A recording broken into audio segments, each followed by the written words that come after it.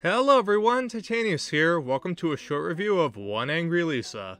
Despite the title, the A story is about Homer and Marge, while the B story is about Lisa serving on a jury despite being only 8 years old.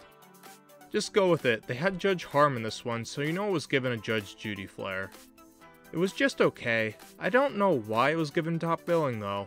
In the A plot, Homer buys Marge a Pedalon bike, and she soon becomes enamored with our hunk instructor, Jesse.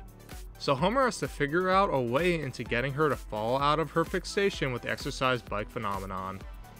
But you know, it's kind of hard because it's pretty much a cult. Now Family Guy and Close Enough already covered the interactive exercise bike company, as it became big during the pandemic because most people were stuck indoors. And those two shows went for more out there ways with lampooning the bikes, with Family Guy going for a more psychological take with Stewie, while Close Enough just went out there because that's what Close Enough does.